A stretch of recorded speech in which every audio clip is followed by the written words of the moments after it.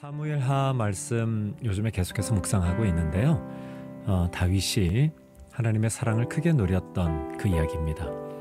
여호와께서 주의 모든 원수를 무찌르사 왕으로 궁에 편안히 살게 하신 때에 왕이 선지자 나단에게 이르되 볼지어다 나는 백향목 궁에 살거늘 하나님의 괴는 휘장 가운데 있도다.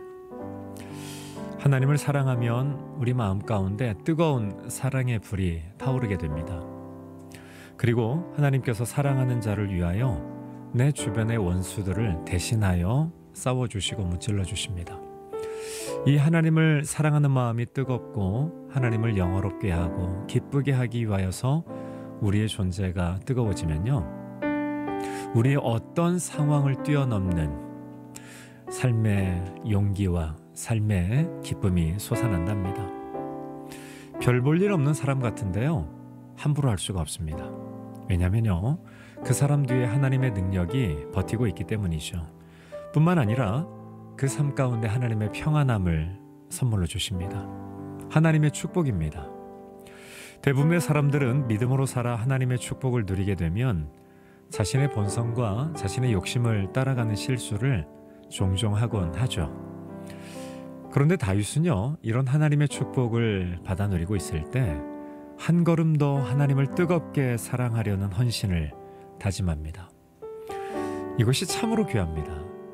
우리가 성공할 때 겸손하고 높아졌을 때 하나님의 은혜를 잊지 않는 삶, 하나님의 축복을 지속적으로 누릴 수 있는 비결이랍니다. 이때 다윗은요, 자신이 하나님의 종임을 다시 뜨겁게 고백합니다.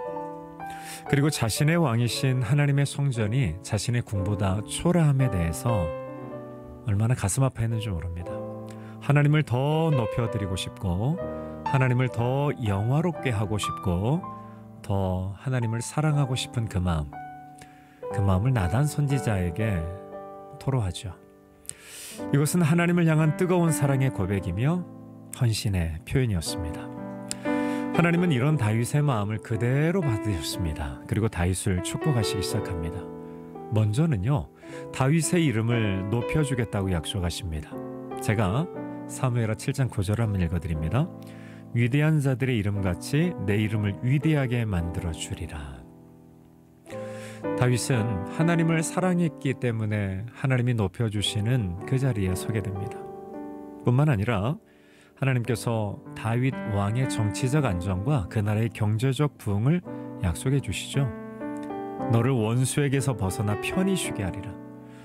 사랑하는 조국이 짧은 시간에 민주주의 정치적 안정, 경제적 번영을 누렸던 이 역사, 사실 하나님께 헌신한 수많은 믿음의 선진들의 기도 때문입니다. 사랑 때문입니다. 그리고 셋째는요, 하나님께서 다윗을 위하여 집을 주어 주시겠다고 약속합니다. 하나님을 사랑하여서 성전을 건축하겠다고 했던 다윗의 마음을 보신 하나님께서 오히려 다윗의 가문을 책임져 주시는 거죠. 넷째는요, 다윗의 왕위가 영원히 견고할 것을 축복으로 약속해 주십니다.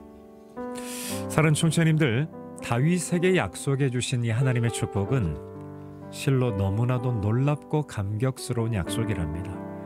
다윗은 이 하나님의 축복의 약속을 듣고요. 하나님, 지금 있는 것이 얼마나 부족하기에 저의 장래를 이렇게 축복하십니까?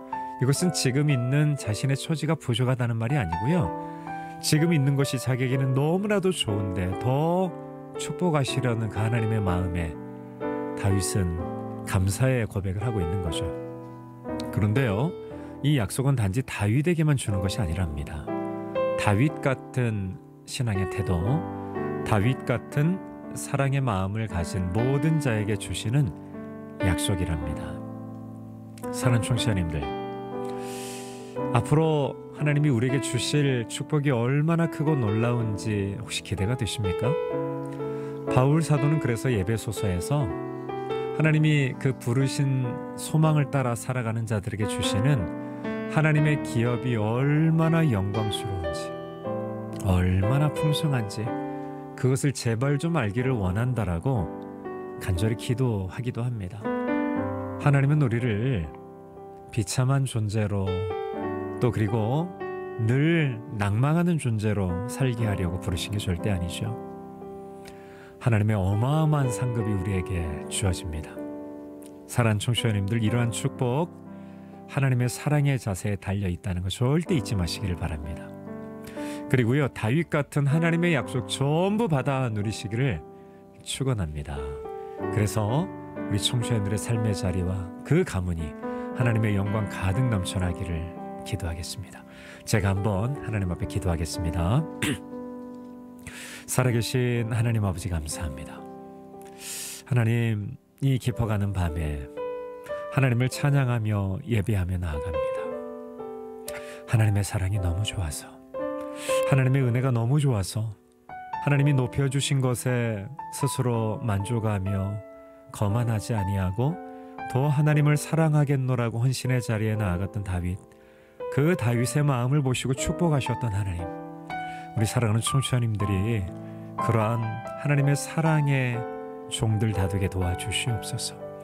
그리하여 하나님으로부터 모든 다윗이 누렸던 축복을 받아 누릴 뿐 아니라 이 세상에 그 축복을 전하는 하나님의 거룩한 축복의 통로 다되게 도와 주시옵소서. 주님 감사를 드립니다. 살아계신 우리 구주 예수님 이름으로 기도하옵나이다. 아멘